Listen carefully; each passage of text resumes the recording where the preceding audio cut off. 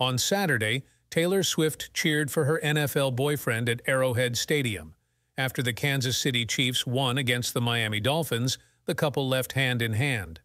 Body language expert Judi James analyzed Swift and Kelce's gestures, noting, his relaxed walk suggests either a tough game aftermath or a deliberate change in body language with Taylor. Reflecting on Travis's new persona, she remarked, when they first appeared in public, he exuded charm, hopping around, holding hands, and smiling gallantly, suggesting a strong connection.